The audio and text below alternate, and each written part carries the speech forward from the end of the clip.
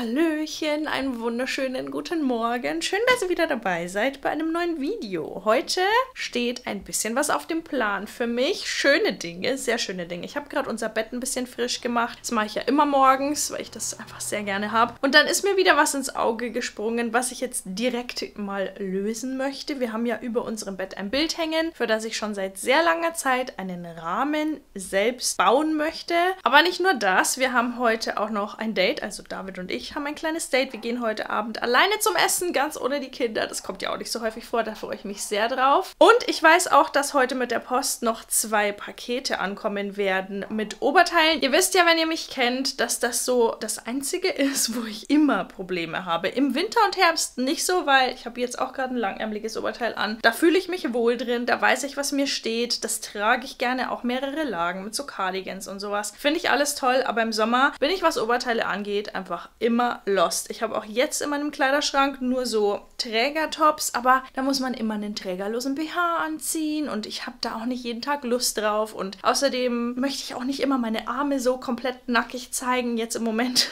bin ich da eh so ein bisschen unzufrieden mit, deswegen habe ich mir mal nochmal ein paar Oberteile bestellt, die Ärmel haben, kürzere Ärmel, ein bisschen längere Ärmel, was Luftiges und einfach mal schauen, ob da irgendwas Süßes dabei ist, weil das fehlt definitiv noch in meinem Kleiderschrank. Ich kann keine Hosen anziehen, weil ich keine Oberteile habe, also laufe ich im Moment entweder mit Sachen rum, wo ich mich nicht wohl drin fühle, oder ich trage langärmlich. Und so soll es natürlich auch nicht sein. Also das ist der Plan für heute.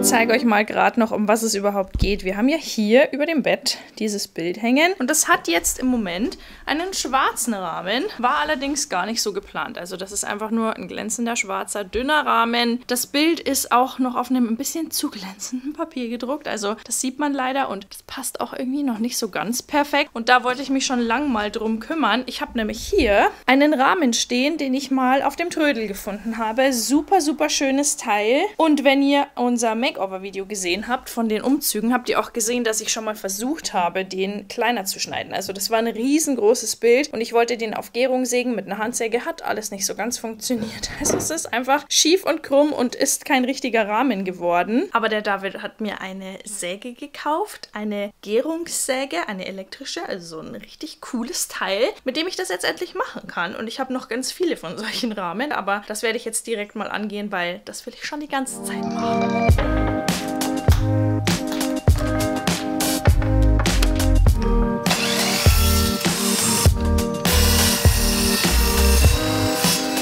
Stunde der Wahrheit. Wir gucken jetzt mal, ob die Seiten aufeinander passen. Besser als beim letzten Mal. Ich hoffe und denke ja. Also wenn ich mich nicht komplett vermessen habe und nicht meine Intelligenz mich verlassen hat, müsste es jetzt genau aufeinander passen. Uh, sehr schön. Die Seite hier oben ist sogar noch besser, weil der da unten hat ja so eine kleine Kante gefehlt. Aber das ist alt und hat Charakter, das gehört so. Ich werde die jetzt einmal umdrehen und dann von der anderen Seite mit Winkeln festschrauben. Dann hält es auf jeden Fall. Dinge, die ich auf jeden Fall beim Prozess gelernt habe, sind, mit Messen kommt man nicht unbedingt sehr weit. Ich habe jetzt immer eine Seite gesägt und dann an die andere gehalten und nochmal angezeichnet. Und ganz wichtig, auch mit einer Gärungs- oder Kappsäge. Es muss alles perfekt gerade liegen. Also wir haben ja zum Beispiel hier bei dem Rahmen so eine Neigung nennt man das wahrscheinlich. Also der ist einfach auf einer Seite dünner als auf der anderen. Und ich habe erst versucht, den von der anderen Seite zu sägen. Dann lag das aber ein bisschen schräg auf der Säge. Hat nicht funktioniert. Es hat dann nicht gepasst. Deswegen, das muss alles immer perfekt gerade sein. Nur dann funktioniert es. Wusste ich auch nicht, aber das habe ich jetzt gelernt.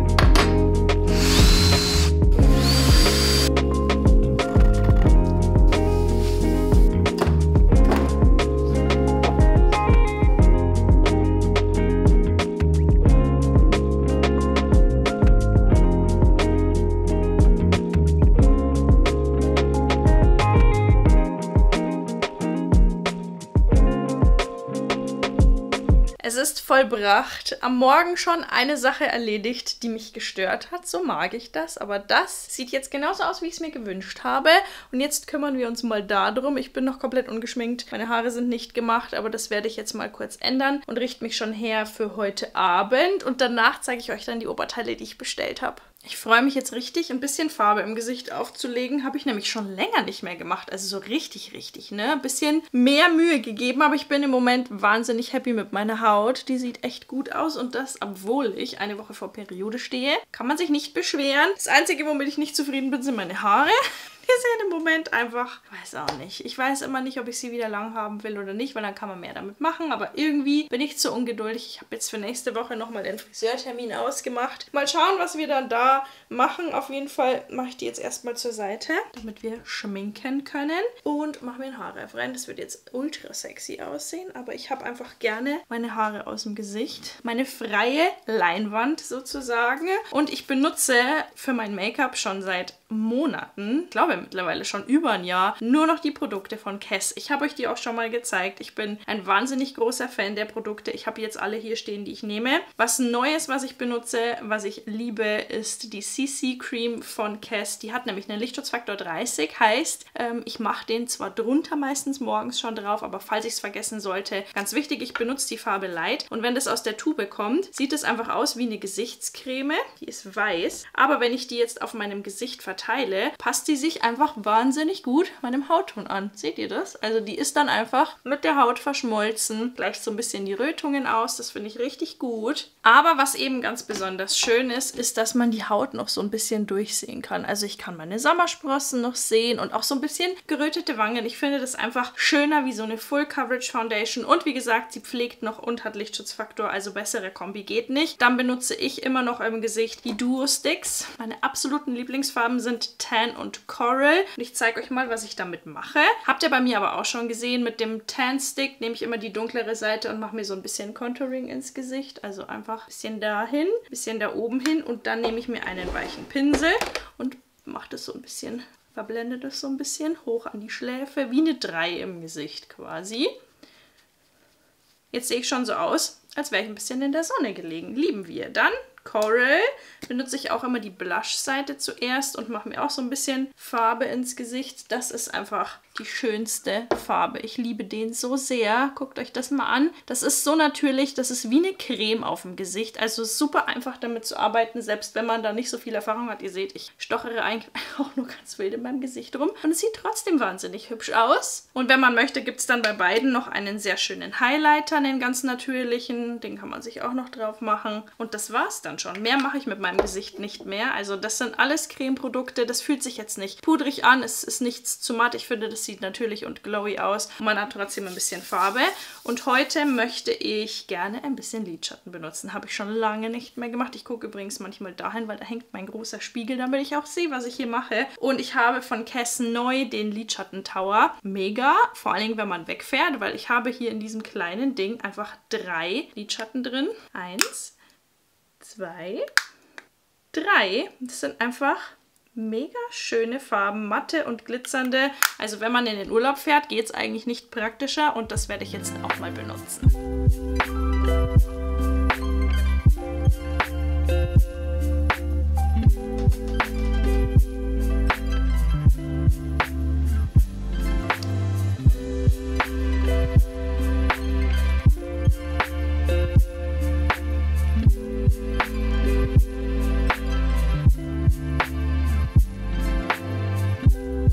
Make-up ist fertig und ich liebe das Grün auf den Augen. Ich habe irgendwie im Moment ja so ein Grün-Fable, wie man unschwer erkennen kann. Ich habe sogar Grün auf den Fingernägeln und jetzt auch auf den Augen. Aber die Lidschattenpalette ist toll. Die geht super einfach und ich habe natürlich auch einen Rabattcode von Kess für euch bekommen. Wenn ihr was ausprobieren möchtet, dann lohnt sich das jetzt. Ich habe einen 30% Code, der gilt noch bis Sonntag. Da könnt ihr zum Beispiel das Mix and Match Summer Glow Set holen, also die Produkte, die ich gerade benutzt habe. Die hier, die CC Cream, gibt es in drei verschiedenen Farben haben in Light, Medium und Tan, könnt ihr eine auswählen. Dann den Coral Duo Stick, das ist der, den ich benutzt habe, mit dem schönen Rosé-Ton auf den Wangen. Und die Night Mascara, die einen wahnsinnigen Wimpernaufschlag zaubert. Richtig cool. Und wenn ihr das bestellt mit meinem Code, bekommt ihr noch eine kleine Mini-Mascara gratis. Mega praktisch, wenn man in den Urlaub fährt, weil man einfach eine kleine Mascara dabei hat. Also das kann ich euch nur empfehlen. Und wenn ihr es nicht schafft bis Sonntag oder zu lange braucht, auch kein Problem, denn ich habe danach nochmal nochmal einen 20%-Code für euch. Also ich packe euch einfach alles unten in die Infobox rein, auch die Informationen. Ich habe ja auch einen Lippenstift drauf, da fragt ihr bestimmt, wie das heißt. Schreibe ich unten alles dazu. Dann könnt ihr da super gerne mal vorbeischauen. Weil wir jetzt schon so hübsch gemacht sind auf dem Kopf und im Gesicht, muss ich jetzt natürlich auch noch nach einem passenden Outfit suchen. Übrigens, die Produkte, habe ich gerade gar nicht gesagt, sind alle vegan und tierversuchsfrei. Also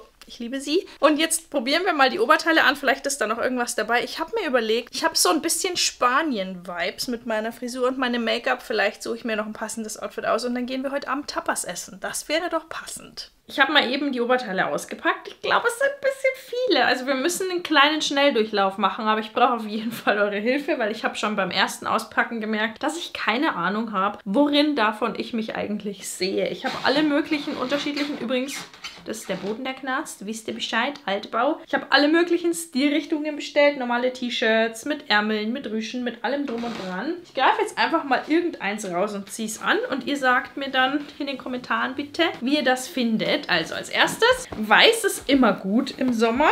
Das hat hier so Puffärmelchen und das ist jetzt schon so ein Problem. Ich, also irgendwie, glaube ich, ist das jetzt nicht so praktisch und das schnürt auch so ein bisschen ein. Sieht man das überhaupt, dass es einschnürt oder geht's? Kann ich schon nicht einschätzen. Ich finde, das wirkt so ein bisschen, als wäre es runtergerutscht. Ist es aber nicht. Also von mir eher ein Nein, aber sagt ihr mal, was ihr denkt. Wir gucken mal weiter. Was haben wir denn als nächstes? Wir wollen ein bisschen Farbe. Grün. Natürlich grün. Was auch sonst. Es ist ein normales T-Shirt. Die sind ja eigentlich immer ganz cool zu Jeans. Aber mir sind die immer so langweilig, wenn ich nur ein weißes oder ein schwarzes T-Shirt anhabe. Das hat einen netten Schnitt, aber irgendwie ist mir das hier so ein bisschen zu stramm. Also ich hätte irgendwie gern weitere Ärmel, dass das irgendwie cooler aussieht. Warum sieht das lahm aus? Helft mir. Was kann man mit normalen T-Shirts tun, damit es nicht lahm aussieht? Klar, man könnte jetzt noch Ketten anziehen oder so. Und dann, aber ist das was? Ich weiß es nicht. Die Farbe ist schön. Die mag ich. Und das Material ist auch ganz angenehm. Kommen wir zum nächsten. Beige darf in meinem Kleiderschrank nicht fehlen. Auch nicht bei Oberteilen. Also habe ich mal auch ein paar beige Varianten. Und zwar verschiedene. Wir haben hier einmal Polo. Hatte ich noch nie. Ich glaube, ich hatte in meinem Leben noch nie ein Polo-T-Shirt. Das ist ein bisschen sehr kurz für meinen Geschmack. Eigentlich suche ich nach Oberteilen, in denen ich, ich mich immer wohlfühle. Also, wo ein bisschen was auf den Armen ist, die nicht zu kurz sind. Das könnte jetzt mit einer High-Waist-Hose noch funktionieren, aber ist das zu spießig oder zu frei hier oben? Oder geht das? Schreibt es mir mal. Nächstes Beige zeige ich euch gleich. Das hat mir online, glaube ich, mit am allerbesten von allem gefallen, was ich bestellt habe. Ob das jetzt sommerlich ist, weiß ich nicht. Wahrscheinlich eher, wenn es nicht so heiß ist, weil sonst ist das mit Sicherheit zu warm. Aber ich fand es irgendwie online ziemlich süß. Hm... Da ist jetzt wieder die Frage, ah, hier ist nicht gebunden, da ist jetzt wieder die Frage, ist das zu verspielt für mich? Außerdem mag ich ja meine Figur eigentlich auch gerne. Ich habe jetzt zum Beispiel so eine weite Jeans an. Irgendwie, glaube ich, passt es dann nicht so, oder? Ist das nicht alles zu weit? Grundsätzlich finde ich es aber sehr schön. Also ich finde den Schnitt cool, es ist angenehm, es ist hier nicht zu eng. Also das ist schon echt süß. Aber das müsste man wahrscheinlich anders kombinieren als mit einer weiten Jeans. Hm, das kommt vielleicht in die engere Auswahl. Das hier könnte noch interessant sein, weil es mal eine andere Armlänge hat. Das ist ein braunes T-Shirt, also auch ein normales. Aber ich finde es irgendwie immer cool, wenn T-Shirts so eine Rippstrickoptik haben. Das hat das auch. Und das hat so lange Ärmel. Das fand ich irgendwie cool. Wie finden wir das? Muss natürlich vielleicht in die Hose. Aber ist das was oder ist das nichts? Ich muss immer aufpassen mit den BHs, weil ich mag das nicht, wenn man die da durchsieht. Aber es gibt ja schöne T-Shirt-BHs. Aber das fand ich irgendwie cool von der Armlänge. Könnte auch cool sein, wobei halt dunkelbraun, ne? Wenn das jetzt irgendwie farbig wäre, wäre es vielleicht auch nicht schlecht gewesen. Merkt meinen Struggle. Ich bin einfach, was Oberteile angeht, eine absolute Null. Alles andere kann man mir geben, da fühle ich mich wohl drin. Aber Oberteile ist echt eine Nummer für sich. Ich habe gerade gesehen, ich habe auch noch ein Oberteil ohne Ärmel bestellt. War eigentlich nicht der Plan, aber es muss mir wohl gut gefallen haben.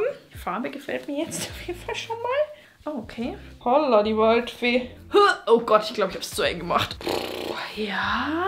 Bei so Oberteilen, wo nichts nach oben geht oder die nur so Träger nach oben haben, habe ich immer Angst, sehr breit abzuwirken nach oben, weil ich schon eigentlich breite Schultern habe, würde ich jetzt mal fast behaupten. Aber irgendwie ist es ganz niedlich, oder?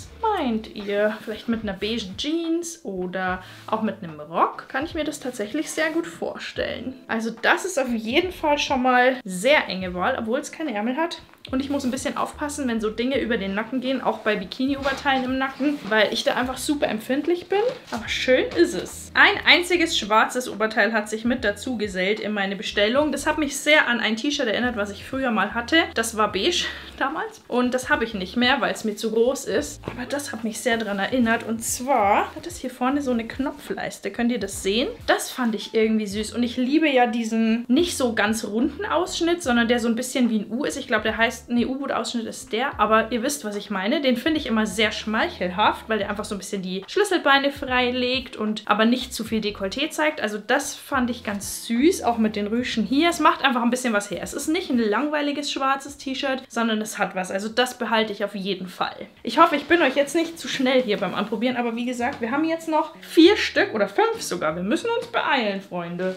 Wir haben noch eine Option aus Leinen. Da habe ich immer beim Anziehen so Probleme, weil das ja keinen Stretch hat.